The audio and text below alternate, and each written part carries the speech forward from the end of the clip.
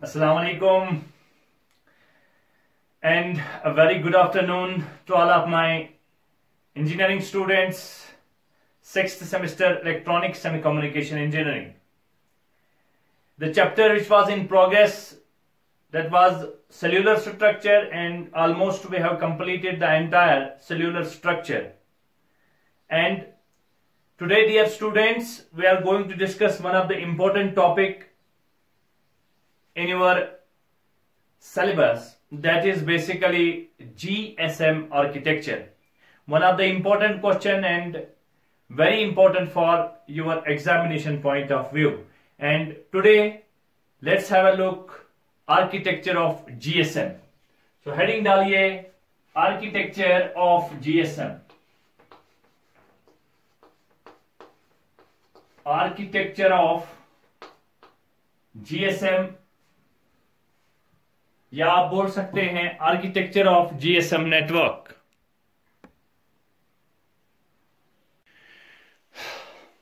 so have a look on architecture of GSM architecture of GSM तो पूरे architecture को हम डिस्कस करेंगे जीएसएम क्या है? पहले अगर बात करेंगे what is meant by GSM GSM ना आप ऐसे जो हम नेटवर्क यूज़ करते हैं और कभी कभी आपने नाम भी सुना होगा जीएसएम नेटवर्क तो GSM is basically global system for mobile communication so अगर जीएसएम की बात करेंगे तो ये है global system for mobile communication.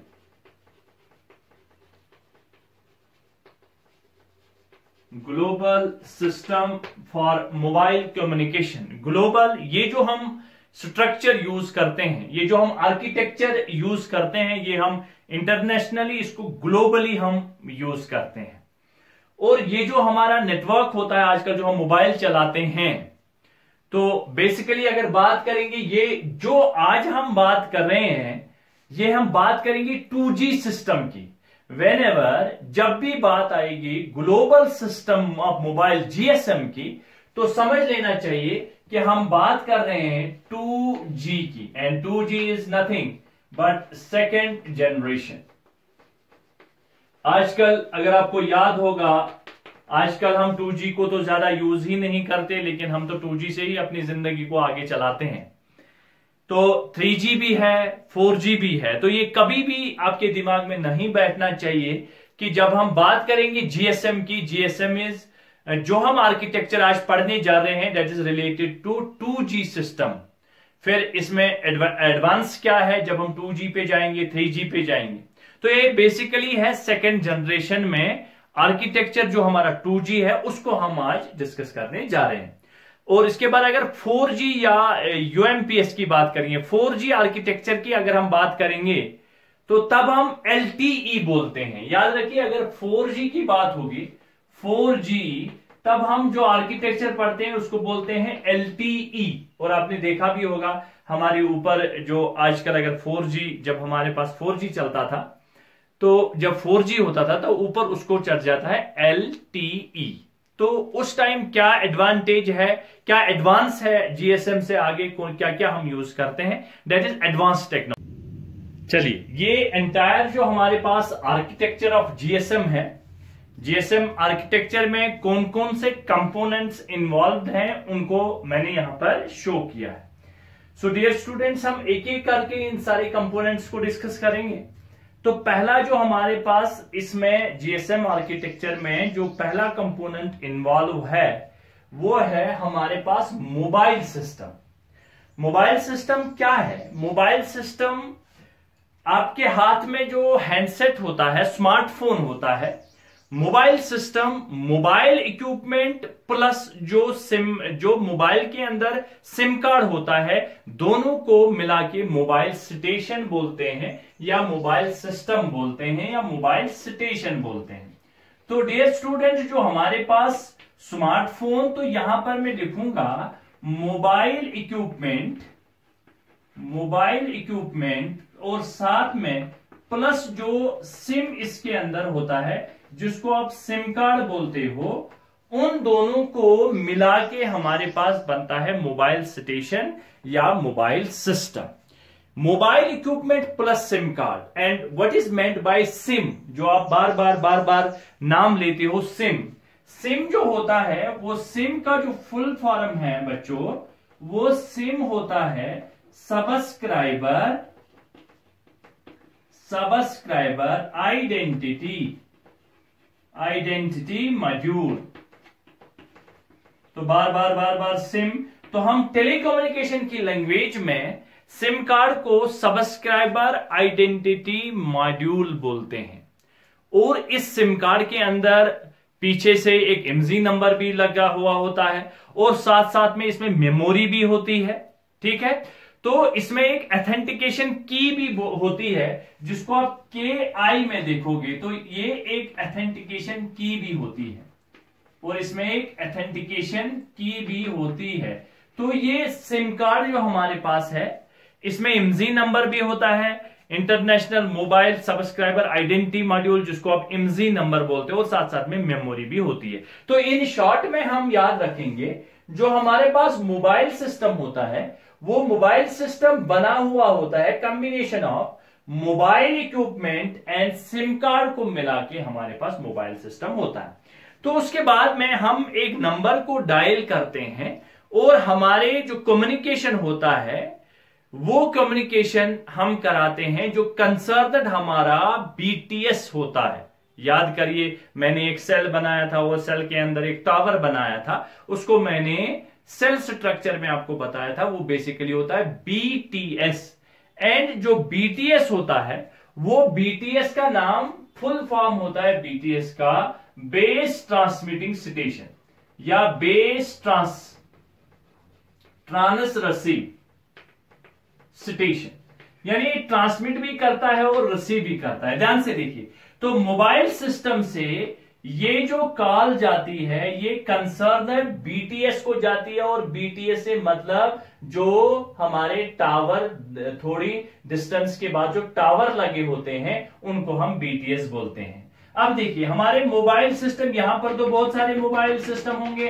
हज़ारों कस्टमर यूज़ होते हैं, हमारे हम हज़ारों कस्टमर यूज़ करते हैं। तो कंसर्न उनका जो बीटीएस होता है, ये बीटीएस के साथ कनेक्टेड होती है विथ एन इंटरफेस इनके बीच में कौन सा इंटरफेस किसके थ्रू ये कनेक्टेड होते हैं, वो हम बाद में उस पर आते हैं। तो याद रखने वाली बात है कि जो भी हमारे मोबाइल इक्विपमेंट होते हैं मोबाइल सिस्टम होते हैं बच्चों, वो मोबाइल सिस्टम कनेक्टेड होते हैं, वो कम्युनिकेशन कराते हैं किसके साथ? वो कंसर्न बीटीएस के साथ कनेक्टेड होते हैं। अब ध्यान से देखिए, अगर आपका मोबाइल फ़ोन है और मोबाइल फ़ोन कोई कॉल नहीं कर रहे होते हो आप, और आपका मोबाइल फ़ोन के ऊपर आप नेटवर्क देते हो, वो डंडे जैसे स्ट्रक्चर होते हैं, एक, दो, तीन सेल चार सेल या आप जिसको बोलते हो, एक टावर मेरे पास दो टावर है, मेरे पास तीन टावर है, वो बेसिकली कंसर्न बीटीएस के साथ इसका कम्युनिकेशन होता है, और जिसको बोलते हो स्टैंड बाई मोड में वो कंसर्न नेटवर्क को कनेक्टेड रहता है। ये बीटीएस बेस ट्रांसमिटिंग सिटेशन जो होते हैं, और बेस ट्रांसमिटिंग सिटेशन एक जोन में, एक सिटी में, या इसको हम जोन में भी बोलते हैं। एक जोन में मान लो अगर बेस ट्रांसमिटिंग सिटेशन बहुत सारे हैं, वो बेस ट्रांसमिटिंग सिटेशन एक कंसर्नर बीएससी के साथ होते हैं। तो बेसिकली अगर ये बेस ट्रांसमिटिंग सिटेशन बीटीएस की बात करेंगे, इसका फ़ंक्शन क्या है? तो इसका फ़ंक्शन एनक्रिप्शन भी होता है। और ये बीटीएस के अंदर एक हॉट ये बीटीएस बेसिकली एक हार्डवेयर लगा होता है। ये हमारे पास एनकोडिंग करता है। ये मल्टीप्लेक्सिंग का काम भी करता है। मल्टीप्लेक्सिंग का काम भी करता है। तो इसका ये एक काम है मल्टीप्लेक्सिंग मक्स डीमक्स नाम सुना होगा। मल्टीप्लेक्सिंग करता है। और एक इंपॉर्टेंट बात, इसमें ये फ्रीक्वेंसी हॉपिंग करता है। फ्रीक्वेंसी हॉपिंग ये बहुत सारे इसके हैं, लेकिन वो तो हम एडवांस लेवल पे जाएँगे, लेकिन फ़िलहाल आपको इन चीज़ों को ध्यान में क्या क्या कर सकता है। तो बेसिक जो इसका पार्ट है, उस पार्ट में हमारा जो मोबाइल इक्विपमेंट है, उससे जो कॉल जाती है, वो कंसर्न बीटीएस को जाती है बेस ट्रांसमिटिंग स्टेशन को जाती है। और ये एक जोन में जितने नंबर ऑफ़ बीटीएस होते हैं उन बीटीएस को एक जोन में मान लो, ये एक जोन में 50 बीटीएस है। वो एक कंसर्नर बीएससी के साथ कनेक्टेड होते हैं। तो इस बीएससी को बोलते हैं base station controller base station controller यानी जितने भी बीटीएस एक जोन में होते हैं वो सारे बीटीएस एक बीएससी के साथ कनेक्टेड होते हैं। इस जोन के जो बीटीएस होते हैं, वो सारे बीटीएस बीएससी के साथ कनेक्टेड होते हैं और जिसको हम बोलते हैं base station base station controller ठीक है? तो बेस स्टेशन कंट्रोलर जो है तो इसका नाम क्या है? बेस स्टेशन ये हमारे पास बेस ट्रांसमिटिंग स्टेशन है और इनको हम base station base transmitting station बोलते हैं। यानी जितने जोन में बीटीएस होंगे, उनको कंट्रोल एक पर्टिकुलर बीएससी करता है। बेस स्टेशन कंट्रोलर सारे बीटीएस की सर्विसेज़ को कंट्रोल करता है। ठीक है? और बीएससी बेस स्टेशन कंट्रोल अगर कभी कभार हमने एक कॉल यहाँ से जनरेट की कंसर्न बीटीएस को दी बीटीएस ने बीएससी को दी। यहाँ से हम एक कॉल जनरेट करते हैं, कोई सर्विस हमें चाहिए, वो यहाँ से बीटीएस को जाता है। बीटीएस के बाद किस वाले एक पर्टिकुलर बीटीएस के बाद किसको जाता है? बीएससी को जाता है, ठीक है? तो ये बीएससी को जाने के बाद इसको कंट्रोल बेस स्टेशन कंट्रोल यहाँ होता है। तो बहुत, ये जो हमारे पास बहुत सारे बीटीएस होते हैं, ये बहुत सारे बीटीएस को कंट्रोल करता है बेस स्टेशन कंट्रोलर यानी इन बीटीएस को कंट्रोल करता है मैनेज करता है मेंटेन करता है कौन?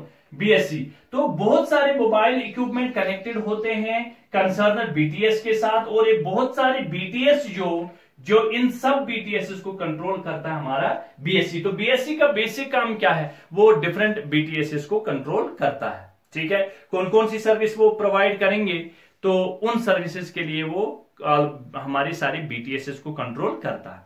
अब बीएससी के बाद जो हमारे बीएससी होते हैं बेस स्टेशन कंट्रोलर वो हमारे एक एमएससी के साथ कंट्रोल होते हैं। यानी बीएससी जितने भी बीएससी हैं उनको कौन देखता है? उनको हमारा एमएससी देखता है। और एमएससी का फुल फॉर्म होता है।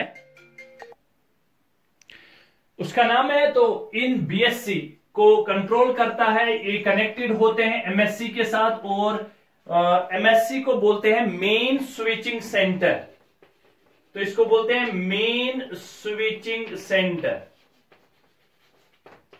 main switching centre MSC तो एमएससी को डिटेल में डिस्कस करने से पहले यहाँ बीएससी तो बीएससी किसको कर, कंट्रोल करता है? बीटीएस को कंट्रोल करता है और बीटीएस में बीएससी देखता है कि को कोई प्रॉब्लम तो बीटीएस को नहीं है तो उस प्रॉब्लम को वो रेक्टिफाई करता है कंट्रोल करता है। सर किस तरह का प्रॉब्लम हो सकता है? जैसे अगर ये बीटीएस में ट्रैफ़िक ज़्यादा होता है मतलब नंबर ऑफ़ यूज़र्स अगर ज़्यादा होंगे मतलब अगर ये हंड्रेड कॉल्स को एट अ टाइम एंटरटेन करता था, लेता था तो अगर 120 आ गए 130 आ गए तो ये बीएससी ट्रैफ़िक को राउट कर सकता है। यानी ये राउटिंग का काम भी करता है कि ये बीएससी इससे मदद किसी और से, किसी और बीएससी बीटीएस से मदद ले सकता है। तो ये सारी प्रॉब्लम्स देखता है, ठीक है?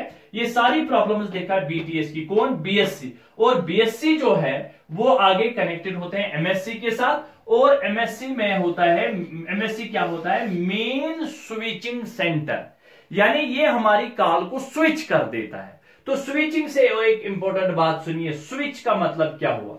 जैसे हम जो मेरे पास, जो जिस नेटवर्क का मैं सब्सक्राइबर हूँ, मैं सपोज़ एयरटेल का सब्सक्राइबर हूँ। तो एयरटेल के सब्सक्राइबर के, मुझे किसी बीएसएनएल के सब्सक्राइबर को कॉल करनी है। तो ये यहाँ से मैंने कंसर्न बीटीएस को दिया बीटीएस ने बीएससी को दिया बीएससी ने एमएससी को दिया, और एमएससी ही मुझे राउट करके देगा। एमएससी ही मुझे स्विच करके देगा कि किस नेटवर्क पे मेरी कॉल है। तो एमएससी किसको देगा? एमएससी जहाँ मुझे कॉल करनी है उसके बीएससी को देगा और वो बीएससी जो हो वो कंसर्न बीटीएस को देगा और वो कंसर्न बीटीएस किसी मोबाइल इक्विपमेंट जिस मोबाइल इक्विपमेंट पे हमें कॉल करनी है उसको स्विच करके देगा। यानी एयरटेल की कॉल बीएसएनएल को होगी तो वो एमएससी ही स्विच करके देगा। तो ये काम होता है इसीलिए इसको बोलते हैं मेन स्विचिंग सेंटर लेकिन ये एमएससी खाली स्विच का काम नहीं करता है। इसको अलग अलग हमारा जो आ, इसमें बिलिंग भी देखता है। ये सारे जो इसमें लगे हुए हैं E I R A U C H L R V L R ये एमएससी में ही एक्चुअल होते हैं और इनको मैंने अलग अलग दिखाया। तो कभी कुमार आपकी बुक्स पर होगा एमएससी और एमएससी के साथ भी होगा एच एल आर बी और वी एल आर बी ये मेन जो है एमएससी का पार्ट है और ये एमएससी के पार्ट को देखते हैं। इसमें हमारे पास जो नेक्स्ट है, वो है, ये एमएससी में जो कंसर्न एच एल आर है। इस एचएलआर को क्या बोलते हैं? तो एचएलआर को बोलते हैं बेसिकली एचएलआर को बोलते हैं home location register home location register ध्यान से देखिए एच एल आर एमएससी का पार्ट है ये H L R home location register जितनी भी इंफॉर्मेशन यहाँ इस सिम कार्ड में होती है, ध्यान से देखिए हम जब सिम लेने जाते हैं तो हमें वहाँ एक आइडेंटिटी प्रूफ देना पड़ता है, एक फोटोग्राफ देना पड़ता है, सारी डिटेल्स पैन का ड्राइविंग लाइसेंस वो सब कुछ हम प्रोवाइड करके देते हैं। तो जो हमारी सिम कार्ड के साथ, हमारे जो सिम होता है, उसके रिगार्डिंग जितनी भी हम इंफॉर्मेशन प्रोवाइड करते हैं, वो इस होम लोकेशन रजिस्टर में होता है, इस होम लोकेशन में होता है। यानी हमारी सारी डिटेल्स कंसर्न एचएलआर में होती है। ये सारी डिटेल्स हमें इसमें होती है। और सबसे इंपॉर्टेंट बात, ये एमजी नंबर वगैरह जो भी यहाँ पर मैंने बोला था identity subscriber identity module SIM card के रिलेटेड वो सारी इंफॉर्मेशन इस होम लोकेशन रजिस्टर में होती है। यानी जो हमारी सारी डिटेल्स होती है, वो होम लोकेशन रजिस्टर में होती है। तो ये M S M S I S D N number ये एमजी नंबर इन सबको देखता है और इसमें सप्लीमेंट्री भी कुछ फ़ंक्शंस इसमें होते हैं। सप्लीमेंट्री सर्विसेज़ भी प्रोवाइड कर देता है हमें। जैसे हमारे पास अगर हमने वहाँ सेटिंग में कॉल बारिंग किया होगा कॉल फॉरवर्डिंग रखा होगा, वो सारी जो हुए कॉल बारिंग जो होती है, कॉल फॉरवर्डिंग जो होती है, वो सब कुछ इस एचएलआर में रजिस्टर हो जाता है। ठीक है? एथेंटिकेशन की, जो यहाँ पर मैंने वो एक चीज़ बोला था एथेंटिकेशन की, उसकी इंफॉर्मेशन भी होम लोकेशन रजिस्टर में होता है। तो आप इन शॉर्ट में याद रखिए कि जो हमारे पास होम लोकेशन रजिस्टर होती है, जो हमारे पास क्या होती है? होम लोकेशन रजिस्टर एचएलआर जो बेसिकली किसका पार्ट है? जो बेसिकली एमएससी का पार्ट है, वो हमारी सारी जो इंफॉर्मेशन होती है रिगार्डिंग सब्सक्राइबर की जो इंफॉर्मेशन होती है, वो यहाँ रजिस्टर होती है, ठीक है? तो सारी इंफॉर्मेशन यहाँ पर होती है, हमारे होम नेटवर्क की इंफॉर्मेशन मान लो अगर मैं श्रीनगर में रहता हूँ तो श्रीनगर का मुझे आईडी कार्ड होगा, जो ड्राइविंग लाइसेंस होगा, उसका एड्रेस होगा, वो सारा एड्रेस एच में होगा, ठीक है? अब ध्यान से देखिए।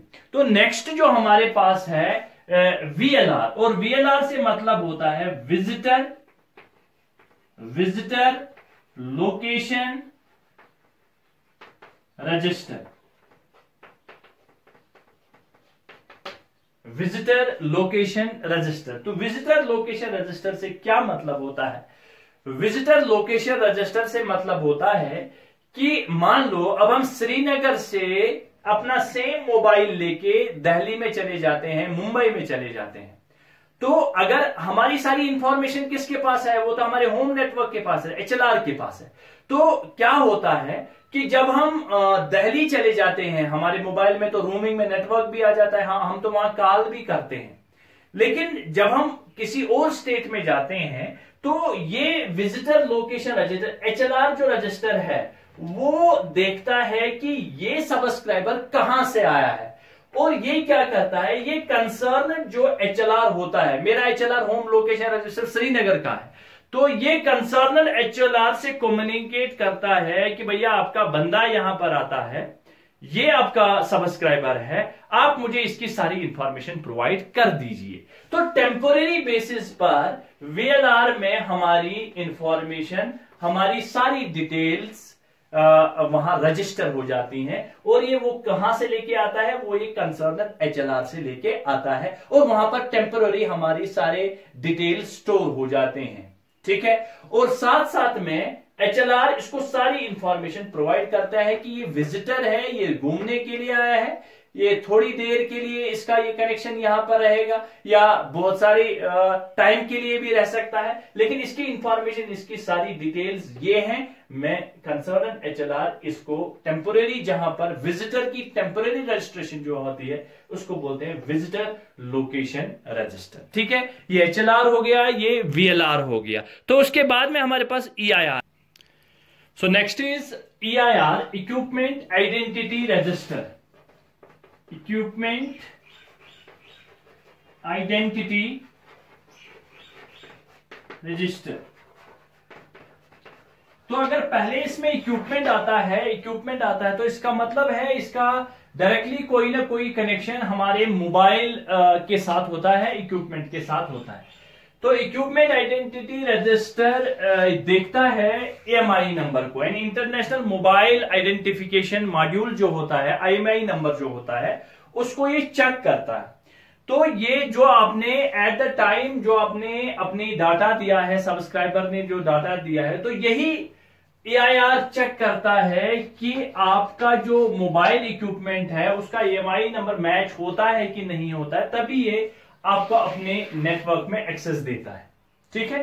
तो कभी कभार क्या होता है, हमारे इक्विपमेंट जो हमने सिम कार्ड अपने इक्विपमेंट में डाला, हमने किस एएमआई नंबर के अगेंस्ट आपका सिम किस मोबाइल में है, वो ये रजिस्टर करता है इक्विपमेंट आइडेंटिटी रजिस्टर में। और कभी कभार क्या होता है, अगर आपका मोबाइल खो जाता है तो मोबाइल खोने के बाद अगर जिस बंदे ने वो चोरी किया है या जिसने उठाया है, अगर बाई चांस वो उसमें सिम डाल देता है तो डेटा बेस पे इंफॉर्मेशन होती है कि जो फलानी एम आई नंबर का सेल फ़ोन है, उसमें ये वाला सिम लगा हुआ है, ये वाला नंबर उसमें, और उस तरह से हम उसको ट्रेस आउट करते हैं। तो बेसिकली हमारे इक्विपमेंट की रजिस्ट्रेशन इक्विपमेंट आइडेंटिटी रजिस्ट्रेशन में होती है। तो इसके बाद में अथेंटिकेशन यूनिट ये अथेंटिकेट करता है ये अथेंटिकेट करता है कि वाकई सिक्योरिटी के लिहाज से कोई प्रॉब्लम तो नहीं है। जो जो जिस जो बंदा इस नेटवर्क को यूज़ करता है, क्या वही जिस बंदे के मोबाइल इक्विपमेंट यहाँ रजिस्टर है, वो सारी चीज़ें, क्या ये वही बंदा है कॉल कर? हमारे नेटवर्क क्या क्या इसका, या जो भी इसके कोई इसकी कॉल को हैक ना करे। सिक्योरिटी रीजन जो जितने भी प्रॉब्लम्स रिलेटेड होते हैं, सिक्योरिटी रीजन के तो वो ये अथेंटिकेशन यूनिट को बिलिंग अनबिलिंग हमारे पास जो होम लोकेशन रजिस्टर की मैं फिर से बात कर रहा हूँ एचएलआर में, आपने कौन सा वाला पैक लिया है? आपने कौन सा पैक लिया है? आपकी वैलिडिटी कहाँ तक है? वो सारी की सारी यहाँ पर रजिस्टर होती है। आपने कौन कौन सी सर्विसेज़ ली हुई है? वो भी यहाँ से सारी information this is the entire architecture of GSM network तो ये नेटवर्क अगर इस वाले यहाँ पर इसकी बात की जाए, ये एमएससी वाला, ये वाला पार्ट ये आता है एनएसएस में। एनएसएस का फुल फॉर्म और ये वाला पार्ट जो है, ये वाला पार्ट आता है बीएसएस में। बेस स्टेशन सब सिस्टम और एनएसएस होता है नेटवर्क स्विचिंग सब सिस्टम ये आता है एनएसएस में और ये होता है network switching subsystem network switching subsystem में ये वाली चीज़ आती है। तो this is the entire structure of architecture of GSM network ये बहुत इंपॉर्टेंट है और इसको आप अच्छे से याद कर लीजिएगा और उसके नोट्स बनाइएगा। Thank you